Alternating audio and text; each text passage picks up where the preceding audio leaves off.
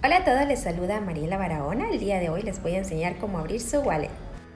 Procedimiento para registrar tu wallet consiste en los siguientes pasos. En este caso elegí como ejemplo Coin98.